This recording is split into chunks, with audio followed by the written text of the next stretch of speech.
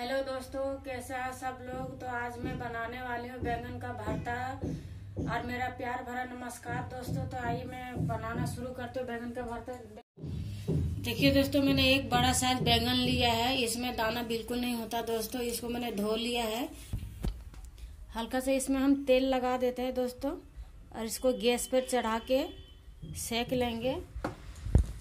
ये देखिए, दोनों हाथ में तेल लगा लिया इसको बैंगन के ऊपर हिस्से में लगाना इस तरह से, अच्छे तरह से। ये देखिए, लग गया है। अब इसको हम गैस पर रख के इसको गैस को ऑन कर देते हैं। ये देखिए दोस्तों, गैस जला दिया है। इसको दोस्तों, हम पका लेंगे इसको धीमे आँच में अच्छी तरीके से पलट के। उसके बाद हम इसके अंदर सब्ज़ियाँ ऐड करेंगे। दोस्तों, अभी दिखाऊँगी मैं आपको। ये देखिए दोस्तों, एक साइड से पक गया। हम इसको दूसरे साइड से पलट रहे हैं। अच्छे से पक जाएगा, उसके बाद हम इसको उतार के कढ़ाई चढ़ा देंगे। ये देखिए दोस्तों, बैंगन के भरता में हम जो सब्ज़ी ऐड करने वाले हैं, ये दो मैंने छोटे प्याज लिए हैं। ये सात, आठ लहसुन की कलियाँ हैं दोस्तों। एक बड़ा वाला देसी टमाटर है दोस्तों। ये देखिए, एक टमाटर ली हूँ, दो हरी मिर्ची ली हूँ दोस्तों, और ये हरा धनिया लिए दोस्तों। इसको धो के अच्छे से रख लिया है। अब मसाला में क्या ऐड करने वाली हूँ, ये दिखाती हूँ। एक चम्मच नमक है दोस्तों, हल्दी पाउडर एक चम्मच एक चम्मच धनिया पाउडर है। आधा चम्मच ये चिली फ्लेक्स पाउडर लिया है मैंने दोस्तों, क्योंकि दो मिर्ची भी ऐड कर रही है तो ज़्यादा तीखा नहीं बनाना है। आधे चम्मच लिए हूँ, और ये एक चम्मच है, ये काली मिर्च का पाउडर। दोस्तों, कितना अच्छा ये बैंगन पक कर आया है, इसको हम पलट रहे हैं दोस्तों, चारों देखिए दोस्तों, हमारा बैंगन ये पक के रेडी हो चुका है। अब इसको हम उतार लेते हैं। प्लेट में रख दिया दोस्तों, अब हम कढ़ाई चढ़ा रहे हैं। जो साफ़ करके रखी थी दोस्तों, धो के उसको मैंने सारे सब्जियों को काट लिए। देखिए दोस्तों इसके छिलके में उतार लेती हूँ दोस्तों। ये देखिए, हाथ के माध्यम से इसके छिलके हटा लूँगे कुछ इस तरीके से। जब तक हमारा कढ़ाई गर्म हो रहा है दोस्तों, तब तक मैं बैंगन को छील लेती हूँ। गर्म हो चुका है दोस्तों, ये देखिए, अब मैं इसके अंदर तेल डाल रही हूँ।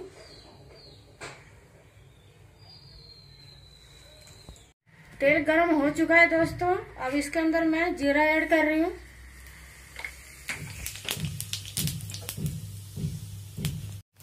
जीरा पक गया दोस्तों, अब मैं ये लहसुन जो काट के रखे थे, इसको भी ऐड कर रही हूँ।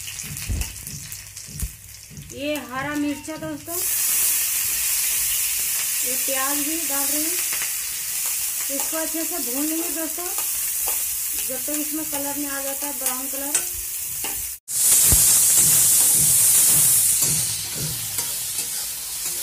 इसको थोड़ा पकने देती हूँ दोस्तों। ये देखिए, मैंने बैगन को छील कर रख लिया है।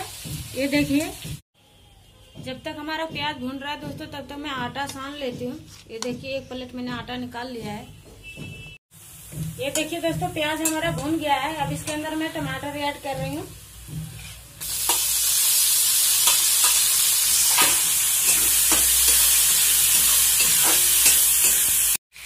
मसाला भी ऐड कर देते हैं दोस्तों, देखिए, अच्छे से पक जाएगा। इसको मैं अच्छे तरीके से भून लूँ दोस्तों मसाले को। इसके बाद बैंगन ऐड करूँगी इसके अंदर। हल्का पानी ऐड कर रही दोस्तों। मसाला जले ना।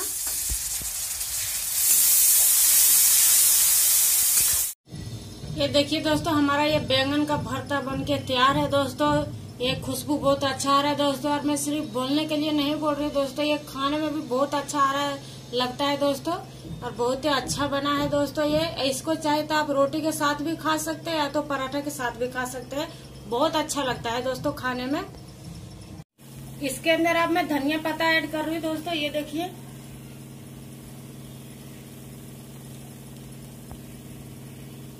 ये सब्ज़ी मेरा बन के तैयार है। अब मैं आटा को सान लेती हूँ दोस्तों, ये देखिए।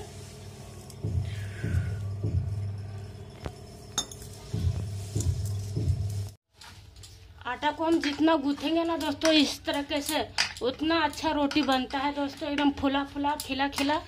ये देखिए, हमारा आटा सन के तैयार हो गया है दोस्तों। अब इसको हम पाँच मिनट तक कपड़ा ढक के छोड़ देंगे दोस्तों। उसके बाद हम रोटी बनाएँगे। बहुत अच्छा आटा सान के तैयार कर लिए दोस्तों। ये देखिए, इसको हम मैं पाँच मिनट के लिए कपड़ा ढक के छोड़ दूँगी। उसके बाद बनाऊँगी दोस्तों। बहुत अच्छा रोटी बनता है दोस्तों। पाँच मिनट हमारा हो गया है दोस्तों। ये देखिए और आटा कितना सॉफ्ट है दोस्तों। ये देखिए। अब मैं तावा चढ़ा लेती हूँ दोस्तों।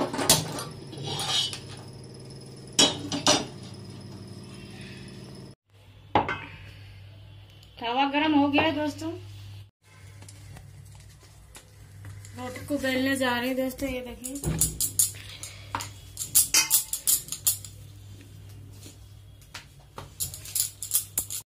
देखिए दोस्तों, रोटी को मैंने बेल लिया है। अब इसको सेक लेती हूँ दोस्तों।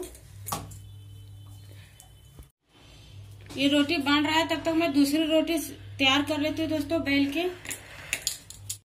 देखिए दोस्तों, दूसरे साइड से पक गया है, अब इसको मैं पलट देती हूँ दोस्तों, ये देखिए। पहली रोटी पक गई दोस्तों, ये देखिए कितना अच्छा बना है फुला फुला एकदम दोस्तों।